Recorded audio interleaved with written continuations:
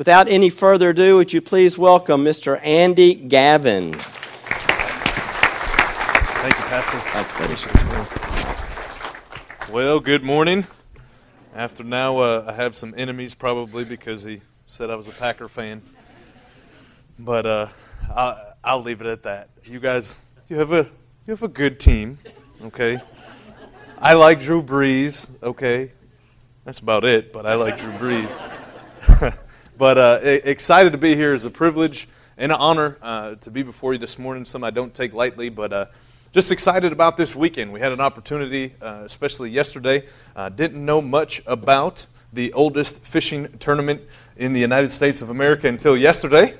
Quite the experience, to say the least. Uh, actually, what was probably even a greater experience, or, or crazier experience, I should say, is flying in on, on Friday night. My, my plane got delayed in Atlanta, um, which uh, seemed to always have to go through Atlanta for for connecting flights on Delta, but uh, didn't get into real late and driving from New Orleans uh, into uh, Grand Isle and, and, and the, I guess it wasn't really a parade, but everybody lined in the streets. I thought they were so excited about the strength team coming to town.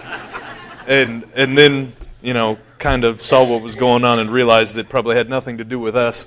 But, uh, but it was interesting. It was interesting to say the least. Saw, saw a very very large uh, blue marlin that was caught yesterday right when we were there. So, uh, very cool experience. And uh, what, th- what one thing that's so great about is down here, uh, fishing is, is, such a part of your culture.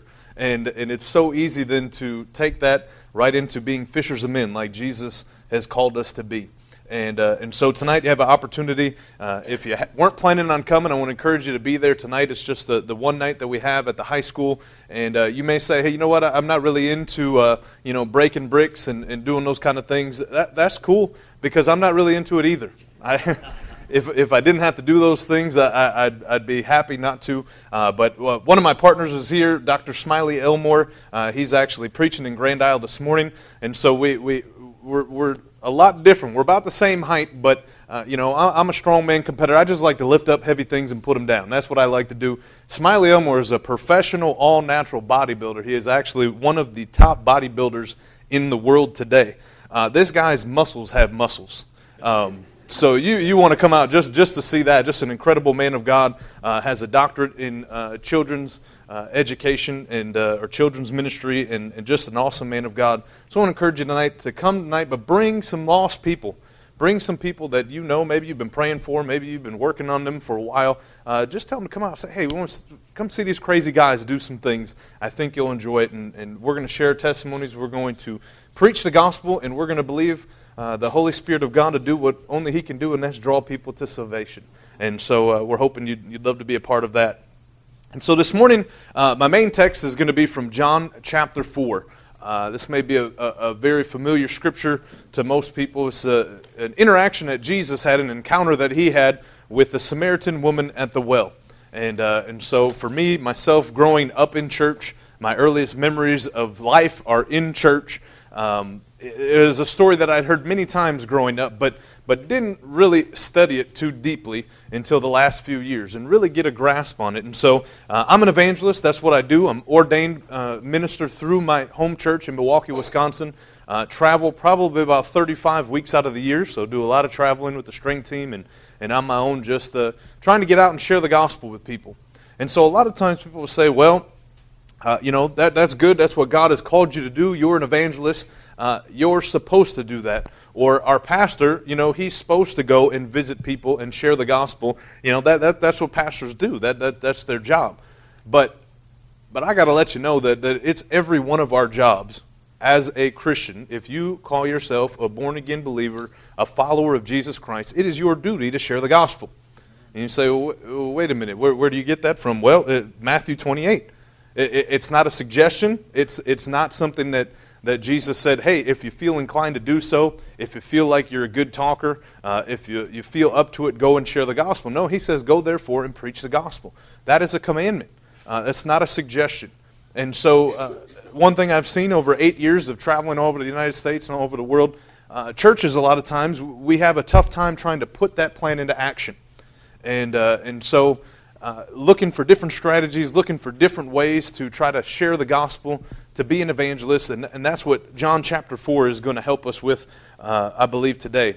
And so the idea from all of this came, uh, my wife and I, because I travel so much, uh, we like to have you know little date nights and things, and uh, we have a, a 13 or excuse me a 15 month old son at home, and now we have another one on the way. And so we don't necessarily get to go out that much. A lot of times it's staying in, and that's why I would say thank God for DVR because we can record things. Uh, but one of the shows we really like to watch is is a show called Celebrity Apprentice. Uh, you guys probably have seen some of, of course. Donald Trump runs the whole thing, and what he does is they have different, you know, competitions in the business world to raise money for, for different uh, nonprofit organizations. And so uh, this last season that they had was like an all-star version. And there was a man on there who, who I really, really just, uh, I started to admire. I really liked the way that he presented himself, how nice of a guy he was. His, his name is Penn Jillette. He's a magician from, from Las Vegas, uh, part of Penn and Teller. Some of you may know some history behind him. Uh, I didn't know a whole lot of history behind him, but I just watched him in action. Uh, just a super nice guy, always treated people with respect and, and, and really spoke highly of even the people that he was competing against. And so I thought, man, maybe, just maybe, uh, you know, the fruit of this guy seems like some good fruit. Maybe this guy's a believer. I, I need to check into this and look into it. Only to find out that uh, he is one of the most outspoken atheists that we have in the world today. In fact, he's gone to lengths of making videos on YouTube to try to trash the Bible, the Word of God, uh, to counter Christianity. And it kind of took me by surprise.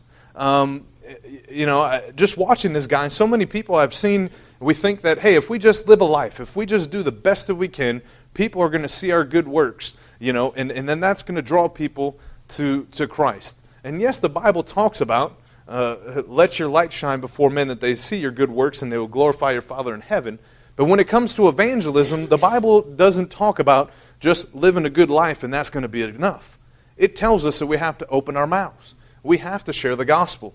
And so I stumbled across a video that he made, and it was an encounter that he had with a Christian man. After one of his uh, programs, I guess, if you will, one, one of his uh, magic programs, they, they have a meet and greet session, and there was a guy that came up to him uh, and handed him a Gideon Bible.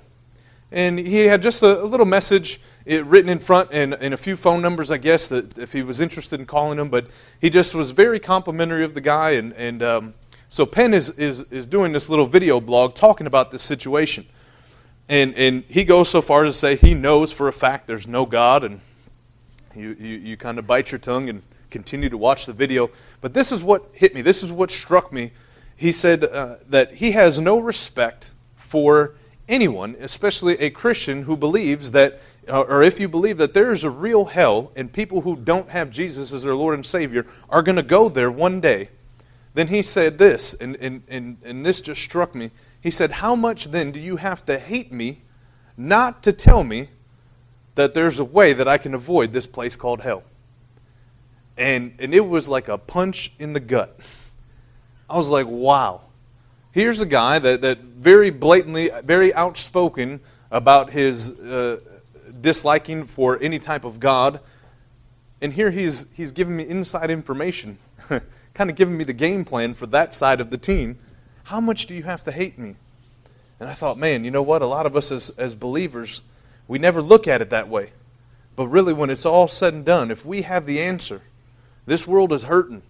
They need something. We look to politics, we look to all these other things, they always fail. Listen, we already know the answer, the thing that never fails, and it's found in Jesus Christ. And so, if as the body of Christ, if we can rise up, if we can be soul winners, then we can turn this thing around for the sake of the kingdom of God. And so, as I said, John chapter 4 is the main text today that I want to speak from. And, and this is an encounter that Jesus Christ himself had uh, with a woman at the well, and it, and it deals with evangelism. So, if we're going to use anybody in Scripture, a lot of great people that we can model our lives after, but if there's one person, obviously, that you want to model yourself after more than anybody, that would be Jesus himself. And so, I want us to look at this today and see uh, Jesus' approach to evangelism. I give you four keys, four things that, that I've pulled from this Scripture that I believe are going to help us when it comes to being soul winners, when it comes to being evangelists. So, uh, John chapter 4, starting in verse 1, it says, Now when Jesus learned that the Pharisees had heard that Jesus was making and baptizing more disciples than John, although Jesus himself did not baptize, but only his disciples, he left Judea and departed again for Galilee. And he had to pass through Samaria. So he came to a town of Samaria called Sychar, near the field that Jacob had given to his son Joseph. Jacob's well was there, so Jesus, wearied as he was from his journey, was sitting beside the well. It was about the sixth hour. Now, before I go any further, I want to draw out two things that, that we can gloss over uh, as a very common thing. The first few times that I really seriously studied this and read through, I kind of missed this, but it's very important when it comes to the whole rest of this story. First of all, in verse 4, it says Jesus had to pass through Samaria. And you might think, okay, that's not a big deal. But if you look at the history, if you look at the relations between the Jewish people and the Samaritans in the times of Jesus, it was like oil and water. Jews would not go through Samaria. They would take a, an extra day or two, sometimes journey, to purposely go completely around it so they didn't have to go through it. So, so we can't overlook the fact that it says that Jesus had to go through Samaria. So I don't, what, why did he have to go there? I don't know. The Bible doesn't tell us that. We could speculate and say, hey, maybe he had an appointment. He needed to get there on time. Shortest distance between two points, a straight line. I don't know. As we read further in there, I realize that I do know why. It was because he had a divine appointment with this woman at the well, and God had already set it up for him to, to meet this woman. The other thing is, is right there, the last verse that we read, verse 6, it says it's about the sixth hour. And a lot of times people don't, don't understand this. They don't know. They might think it's 6 a.m. or 6 p.m. But the sixth hour, uh, according to Jewish calendar and a Jewish tradition, was high noon. It's right in the middle of the day. So here we have the, the hottest part of the day. The sun's at its peak uh, in the desert, traveling on this road. And he runs in, uh, or he, he comes to this well and this is where we continue in verse 7. A woman from Samaria came to draw water. Jesus said to her, Give me a drink, for his disciples had gone away into the city to buy food. The Samaritan woman said to him, How is it that you, a Jew, ask for a drink from me, a woman of Samaria? For Jews have no dealings with Samaritans. Jesus answered her, If you knew the gift of God and who it is that is saying to you, Give me a drink, you would have asked him, and he would have given you living water. The woman said to him, Sir, you have nothing to draw water with, and the well is deep. Where do you get that living water? Are you greater than our father Jacob? He gave us the well and drank from it himself, as did his sons and his livestock. Jesus said to her, Everyone who drinks of this water will be thirsty again. But whoever drinks of the water that I will give him will never be thirsty again. The water that I will give him will become in him a spring of water welling up to eternal life. The woman said to him, Sir, give me this water, so that I will not be thirsty or have to come here to draw water. Jesus said to her, Go call your husband and come here. The woman answered him, I have no husband. Jesus said to her, You were right in saying, I have no husband, for you have had five husbands, and the one now you have is not your husband. What you have said is true. The woman said to him, Sir, I perceive that you are a prophet. Our fathers worshipped on this mountain, but you say that Jerusalem is the place where people ought to worship. Verse 21 Jesus said to her, Woman, believe me, the hour is coming when neither on this mountain nor in Jerusalem will you worship the Father. You worship what you do not know, we worship what we know for salvation is from the Jews. But the hour is coming and is now here when the true worshippers will worship the Father in spirit and truth, for the Father is seeking such people to worship him. God is spirit, and those who worship him must worship in spirit and truth. The woman said to him, I know that Messiah is coming, he who is called Christ. When he comes, he will tell us all things.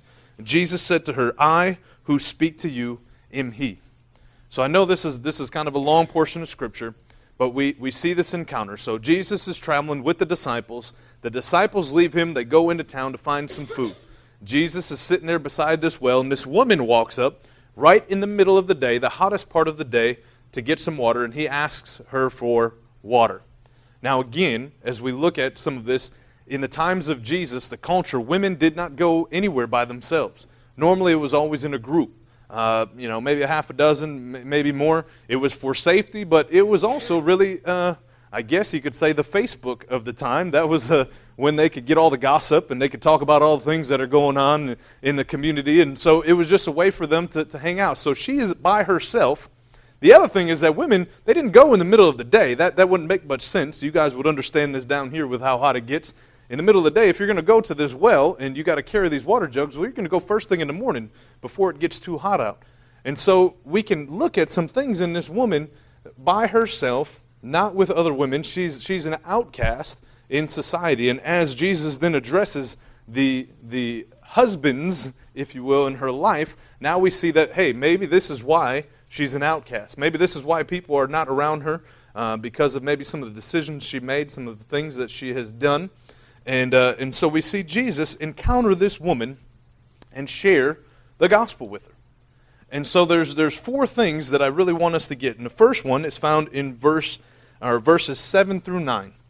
And, and the, the first point that I really want you to, to understand is that Jesus took the initiative. He took the initiative. He initiated the conversation. He didn't remain silent.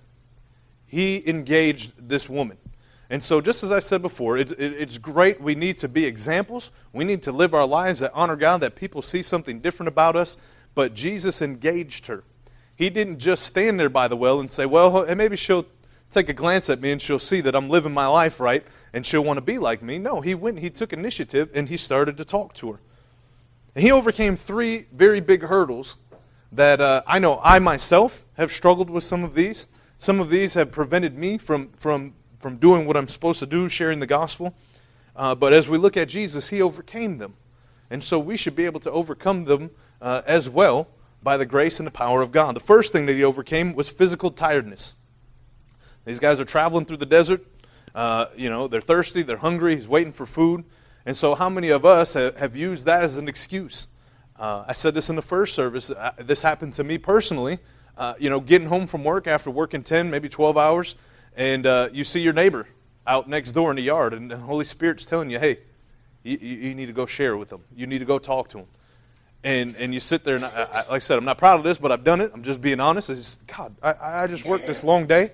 Uh, I, I, just want to get inside. I want to wash up. I want to eat dinner. I want to, I want to relax and hang out with my family. You know, surely, you know, I'll talk to him tomorrow. I'll talk to him next week. And you miss out on that opportunity uh, when, when the Holy Spirit is poking and prodding you to share. And you do it because you say, well, God, you understand, I'm tired. I've been working. I'm providing for my family.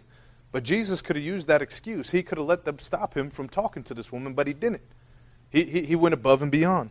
The second thing that he overcame was a great social barrier in the times of Jesus. As I mentioned a little bit about you know, the women and the culture of that time, well, in public, men and women didn't conversate. Uh, not even husbands and wives normally. That was done in the privacy of your own home. In public, men and women normally did not have conversations. Uh, so this is something very out of the ordinary. You didn't see this happen. And so it would have been very easy for Jesus to say, hey, you know, socially this is unacceptable. I, you know, I can't go talk to this woman, and so somebody else will come along, or maybe some, some woman will come along and minister to her. But he didn't let that stop him. And I always, uh, always want to make this very clear. We, we need to use wisdom uh, when we're trying to, to witness somebody, when we're trying to share our faith with somebody. Use wisdom and not put yourself in sticky situations. What I mean by that is if God is telling you, uh, as a man to witness to this woman, don't don't not do it, but let's be smart about it. Go someplace where you're in public. Go someplace. Take somebody with you, so you're you're not setting yourself up for failure. For you're not setting yourself up for the devil to try to trip you up or try to, to get you to fall. You know. Likewise, same thing for women. Don't don't just dismiss it. If God is telling you to do it, you better do it. But let's use wisdom when we do it. The other thing that he overcame was a great cultural barrier of the time. And, I already talked about this the Jews and Samaritans thing. They, they didn't get along. And Jesus easily could have said, uh, That's a Samaritan. I'll let the Samaritans deal with theirs. As far as Jews were concerned, Samaritans were like a half breed. they, they didn't want anything to do with them. But Jesus didn't let that stop them. And so, how many of us uh, do the same thing? We, we look at somebody and, and, and uh, you know, I say this, you know, this person on the other side of the tracks, well, down here, maybe it's on the other side of the, of the river or over the side of the bayou. You know, you might, you might think, well, that person's a little bit different than me. I'm not going to go talk to them. Or maybe uh, their skin color is different. You know, maybe their background is different, and, and I, somebody else will surely go talk to them. I don't want to do it. Listen, we can't let that stop us from sharing the truth of the gospel, from sharing the love of Christ. And so Jesus did that. He took initiative and he overcame all those barriers. The second main point that I want us to get from this today, and this is a strategy that we can use uh, in the kingdom of God, in the body of Christ, and, and you guys are already on the right track with this just by the example of the car wash. Now, that one lady, she needs to go into acting if she's not already, because I don't know if she's still here, but I was like, man, goodness, she's she's done that a time or two before. Um, but uh, but what Jesus did is he went from the felt needs that she had or the physical needs that she had. She was thirsty. She was coming there to get water, or she was coming there to get water to go cook, or whatever she was going to do to clean. He went from that physical need that she had and he transitioned into the spiritual need. And so, as the body of Christ, we can use that same strategy. We can supply people with the physical needs. What would that be? Maybe it's food. Maybe it's shelter. Maybe it's friendship, companionship. Hey, maybe it's washing their car. that might be a need that somebody has. But we meet those needs so then we can have an open door to be able to share the gospel with them. Listen, people aren't going to listen to you unless they know that, they, that you really care about them. And one of the things that the church, especially in America, uh, uh, the, We've been painted into a picture that, that we have an agenda. And if we're going to be honest, we do have an agenda. We want to share the gospel with people. There's no doubt about it. But it can't be a fake thing. We need to genuinely care because Christ genuinely cared about people. And people will see that. They will see that you're genu- genuine and you're trying to meet needs, you're trying to help them out, and it's going to open the door for you able to share the gospel. I had somebody tell me that uh, Jesus gave free food, free health care, and free education. And first I thought about this. I'm like, oh, here we go, because this is about the time with all the politics and everything going on. I was like, here we go, no more politics stuff. I don't want to be a part of it. But I really thought about this, and, and it is true. Jesus did do those things. And, and we are the body of Christ, right? Uh, uh, that's, that's what the word says. We're the body of Christ. So if Jesus supplied those things, then us as the body of Christ, we need to be doing those things as well. And, and, and if we did do that as the church as a whole in America, our government wouldn't be in as much trouble as it is right now. Because the government is trying to do the church's job, and it's not meant for that. So, if at the body of Christ, if we can supply these needs, if we can be the hands and feet, if we can take care of the widows, if we can take care of the sick like the Bible tells us to, then guess what? That burden is no longer on the government. Now we're not upset with them for spending all of our tax money in the wrong places. It solves the problem. it takes care of it, but it takes the church to rise up to do it to take our place and do what we're supposed to do. The third point, in verses 15 to 18. And uh, if you're going to remember one thing as an evangelist, this is the one thing that I really want you to remember is Jesus made sin the issue in her life. He didn't soft sell the gospel. He didn't make it something that it's not. The bottom line is this. We are lost because of our sin. Bible says that, Romans chapter 3. All have sinned and fallen short of the glory of God. We, we know that verse, we have it memorized. Romans 6, same thing. You go down the Romans road. The wages of our sin is death, but the gift of God is eternal life. Sin and sin alone is what separates us from God.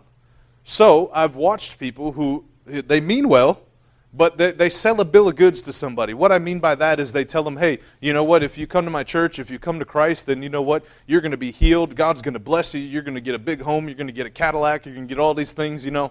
And, and, and God could do that. He's God. He can do whatever He wants to do, and He chooses to do that for some people. But that's not a blanket statement across the board for everybody. That's not a promise for everybody. I don't know why some people get it and some people don't. I don't know why some people get healed and some people don't. One day I, I hope to ask the Lord that, but He's God. He can do whatever He wants. It doesn't matter what we think or what we feel about it. He is God.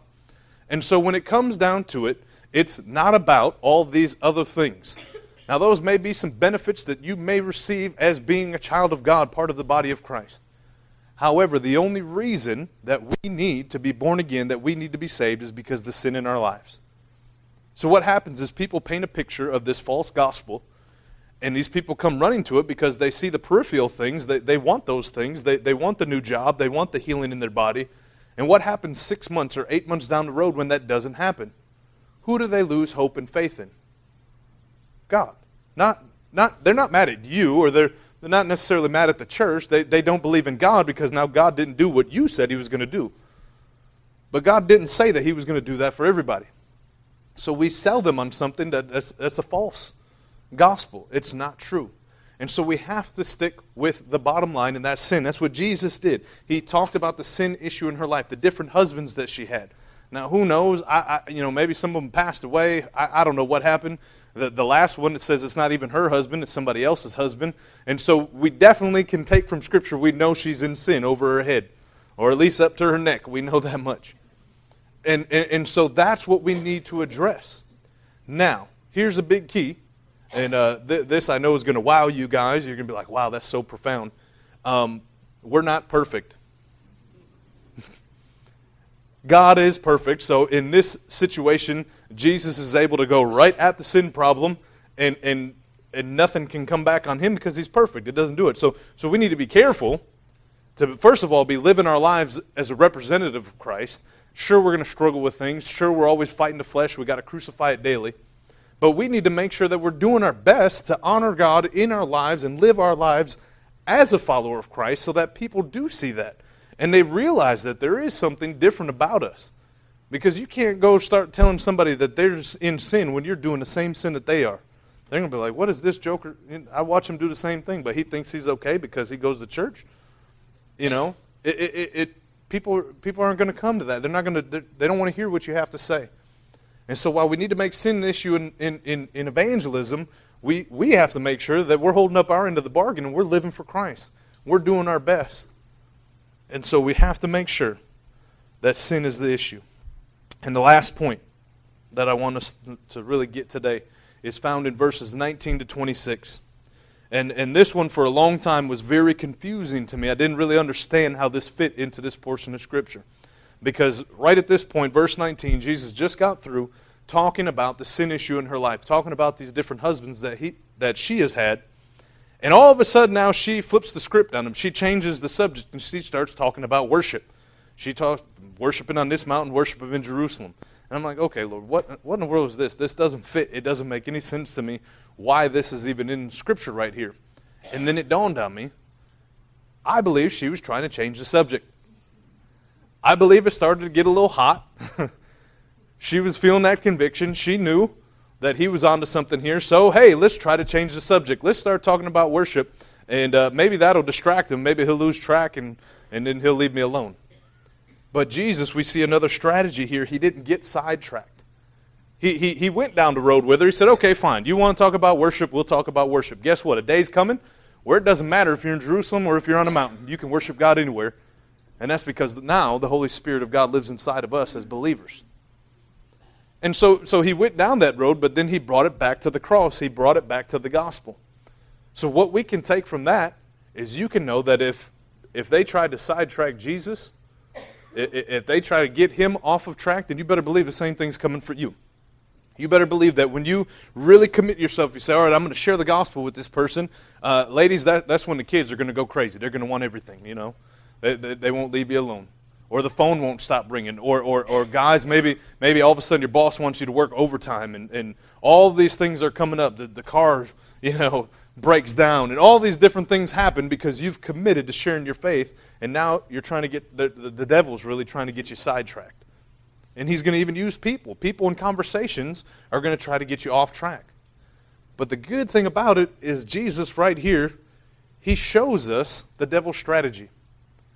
And, and the one thing that I've learned in all my years of being a Christian, the devil's strategies, they don't change. He, he, he's not really all that smart if you think about it. But at the same token, he doesn't really have to change them because they've been working for so many years. He gets people off track. And so if you can go in already knowing and expecting that you're going to get thrown off track, well, then you're going to be easy to see it and you're going to be able to, to redirect it and take it back to the cross. And so I want to encourage you guys to do that. Those three or four things take an initiative, uh, supply physical needs, and move on to the spiritual needs. Make sure you make sin an issue in, your, in their lives and don't get sidetracked. And a big key, big key, I've been trying to hammer this home with, with, uh, with my folks in my home church. I believe that, especially in America, a lot of people don't share their faith, part of because of the way we've been conditioned in this society. We live in a results driven society. Everybody wants to see results. They want to see how much money you made, or, or how many sales you had, or how many this you did, this you did, how much of this you have. And so we're conditioned to think that we always have to produce, we always have to have results. And so people will try to share their faith and, and they'll get shut down. Or maybe somebody, they'll share their faith and that person won't get saved. And after that happens a few times, Christians start to think that they're a failure. And they think, well, I'm just not going to do it because I'm going to get turned down or, or I'm just not doing it right, and, and so I'm a failure. But here is the key that we have to understand we don't save anybody. I'll say that again. We don't save anybody. That is not our job. It's the Holy Spirit that draws people to salvation, not us. But we do have a job, and that is to proclaim the gospel, to share the gospel. That's our part. So watch this. If you shared the gospel with somebody and they rejected it, they don't want anything to do with it, you're still a success. You're still a success because you did what God asked you to do. You did what you were asked to do. So don't let that be a deterrent. Don't let the enemy come and, and, and try to whisper those things in your ear and tell you that you're a failure because you're not. All you need to do is share your faith. God is the one that does the rest. And it can be as easy as this. Every single one of us, if we are a born again believer, a child of God, a follower of Christ, you have a testimony of what God has done in your life. The Bible says in Revelation chapter 12, I believe it's verse 11, it says, They overcame the enemy, number one, by the blood of the Lamb, that's the blood of Jesus, but number two, by the power of their testimony. And so, if you have that testimony, there's power behind it. It's great. I always encourage people to, hey, go learn the Romans road. Go learn the ABCs of salvation, the, the four spiritual laws, whatever, whatever you want to use to share the gospel, learn those. But also know that the most powerful tool that you have in your belt is your own personal testimony. Because, especially nowadays, people can argue philosophies and religions and doctrine and all these kind of things, but you know what they cannot argue? They cannot argue a changed life. They can't argue with you about the details of your life, what God did in your life. It's your life. What are they going to tell you? Oh, that didn't really happen to you. God didn't do that. Well, I'm telling you, He did it for me. And He can do the same thing for you. And so I struggled with this for a long time. I, I, I, didn't get into this in the first service, and I know we don't want to go too long because I know there's food waiting over there for people, and they'll just come and start, they'll just drag me off stage so people can get food. But, but I grew up in church my earliest memories were being in church. I, I actually came, my dad was from a Catholic background, my mom was from a Lutheran background. So you want to talk about religious, you want to talk about do's and don'ts and, and, and make sure you're good enough. I, I had to endure that the first decade of my life. Now, it laid a good foundation of learning stories about the Bible as a young man, but I had the cart before the horse. I thought I had to be good enough to try to achieve God's grace. And we, we understand that that's not the way it works, it's a free gift. Uh, uh but the Lord saved me at nine years old. Uh, it, you know, I understood what it meant. I understood that I was a sinner. Uh, but, but it did take a few years for me to really grow and to really learn. We actually then left the church we were in. I've only been in two churches my whole life, and we're in the church that I'm in now today. Um, a Bible believing, Bible teaching church, very much like this. I was talking to Pastor. We, we come from very similar backgrounds, and, and that's where I really learned how to grow, that there was more to it than just saying a prayer and believing in God, but that you could have a relationship, that, that He talks to you, that you can learn and grow and do all these things. And so as a teenager, that really started to happen. Had a great youth group um, that I really learned uh, about the Lord there, and, and, and my walk with the Lord really blossomed. And, and so when I started traveling with the strength team eight years ago, I was not one of the guys that spoke. I was not even one of the guys that broke bricks or bats or anything. I was a road manager. I was a behind the scenes guy uh, I was a baseball player, so I wasn't. I was about 50 pounds lighter than what I am right now. Um, and so I didn't do those things, but I would hear the testimonies of the guys on the team. Man, we had a guy that, that spent two years in prison, and God radically saved him. A chaplain came and witnessed to him, shared the gospel, and he got saved. And now today still travels all over the world sharing the gospel. You know, just some amazing testimonies that I hear. And I remember it was, it was a Saturday morning. We were going to the gym in uh, Shallotte, North Carolina, just north of Myrtle Beach. And I was talking to one of my best friends at the time that was on the team, and I said, Man, I'd love one day to be a strength team member. But you guys have these awesome testimonies. I mean, these are, some of these testimonies were like movie scripts. You know, I mean, just amazing. And we love, as Christians, we love to hear those, don't we? I mean, we love to hear all these amazing testimonies. But I was like, man, you guys got all these great testimonies. Mine's like, mine's not even an, an after school special. you know, mine is I, I grew up in church. Uh, I can stand before you today. I've never done a drug in my life. I've never smoked a thing in my life. Never been drunk in my life. Waited until I got married. Did all these things. And so I'm like, nobody wants to hear this. This is just your normal average Joe. Nobody wants to hear this story. And as I was saying that, the man that was leading the event that week, he's a pastor of a church in South Georgia. He turned, he looked at me and said, Andy, he's like, I wish I had your story. He's like, I wish I would be able to have that testimony. Because he grew up in church. His dad was a pastor, and, and, and you know, he gave his heart to the Lord at a young age. As he got into high school, he got into all kinds of trouble and drugs and alcohol, you name it. Got married, almost lost his marriage, all these things. Now today he's a pastor. But he's like, I wish I wouldn't have made those decisions. And it was one of those moments in your life. I don't know if this has ever happened to anybody else, but it's where the Holy Spirit like slaps you in the back of the head. Am I, am I the only one that that ever happened to? Um, okay. But uh, it was one of those moments we got to the gym and I said, guys, I'm going to be in there in a minute. I, I just need to have some time with the Lord. And I just sat there and I apologized. I said, Lord, here I am complaining about the life that you gave me. Like I want heartache. Like I want pain. I want this baggage to carry around with me. And, and that's the great thing about it is, is you know, there's, there's testimonies of God's deliverance power that are powerful, but there's the testimony of God's keeping power. And, and to me, I, I mean, I'm a little biased because that's the testimony that he gave me, but I, I think that's the best testimony that especially as a young person, there's a lot of young people, a lot of teenagers in here this morning. You can say, hey, you know what? Lord saved me at a young age. I committed my life to Him, and, and, and I didn't waver. I went through some tough times, but you know what? I, I stayed focused on the cross. And, and God kept me out of a lot of those situations. And then here's, here's, here's the wonderful thing about it almost not a week has gone by since then. That was about six years ago. When I share my testimony in a night program, where I don't have parent, a parent or parents come up to me afterwards and say, We want to thank you for your testimony because we didn't have that testimony, but we're trying to raise our kids that way. And we want them to understand that you don't have to go out and build a testimony. You don't have to go out and sow your wild oats to come back with this Hollywood testimony. Thank you for it. And it's just like, wow, man, Lord, you can use even me. It's just amazing. And I didn't think my testimony had any power, but I'm telling you, testimony is one of the most powerful things that you have. And I want to encourage you guys if you haven't really thought about your testimony, real three part, easy way. Hey, what was your life like before Christ? How did you come to know Christ? And what has He done in your life since? Very easy. You can do that. You can tell somebody that in just a few minutes. And I'm telling you, there's power in it. The Lord will use it. But I just want to encourage you guys. Man, you, you, this is a great body of Christ. I had awesome time in, uh, in Sunday school. It just, the, Spirit of God is in this place. You can feel that. You got a great leader. So now, let's get on the same page as the body of Christ. Let's start winning souls. Let's start meeting the needs in the community so, so that little old cut off Louisiana can be on the map worldwide as one of the great revivals where the Holy Spirit is just doing crazy things. And it all started because you guys just became sold out to the gospel and sold out to winning people for the sake of the gospel. It can happen. Let's pray. Father, I just thank you for this morning. I just thank you for, uh, for the fact that, that you call us your sons and daughters. When we receive you as our Lord and Savior, you, you, you call us the children of God. What, what a privilege that is. What an honor it is to be a part of your family. When we know that uh, it's our duty, it's the calling of every Christian to be a soul winner.